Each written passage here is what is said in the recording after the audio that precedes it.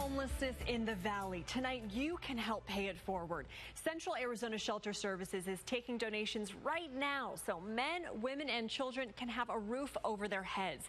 Scene is up at our phone bank. Scene, viewers have until 7 to help out. And, you know, we're talking about having a roof over our heads. Can you imagine being out there in the heat this time of year? This time of year, especially, Lindsay. CASS is our oldest and largest shelter service here in the state of Arizona, and it's time to give them a helping hand. They help so many of our community members. Remember, homelessness, they're all a part of our community, and we're a better community when we help them get off the street. Here's all of our volunteers. Look at Bankers Row back here, Wells Fargo, Washington Federal. Let's get these volunteers busy. Let's get those phones in their hands because we need your donation right now. And boy, do we make good use of your money. Take a look at what $50 will do for you. If you donate $50, you're going to provide four nights of emergency shelter. $100 provides 10 nights of emergency shelter, 253 weeks, plus services, and 500 you could shelter with your $500 donation tonight, 50 people for one week.